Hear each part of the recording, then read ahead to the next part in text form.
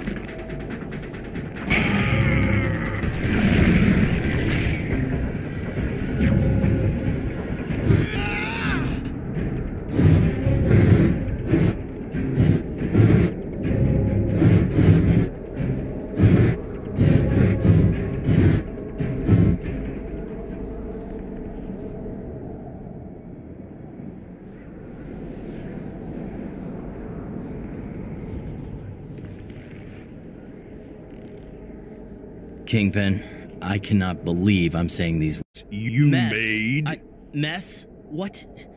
No, we need to move Tinkerer to your building. And why would you blame what's happening on me? I see the family resemblance, don't you? I will make you a deal, Spider Man. Help me out with a few errands, and I will consider helping you. You want me to do your grocery shopping? I have super strength, but I'm not. I want you to be my pawn. I want you to know that you saved Manhattan, but only by doing my bidding. Even if all I do is have you pick up a bit of litter, I know that it will gnaw at you for the rest of your days that you had to help me save this city. Okay, fine. What do you need? Restore the defenses on my building. Things here were very secure until just a few minutes ago. All right, fine. Then we're even.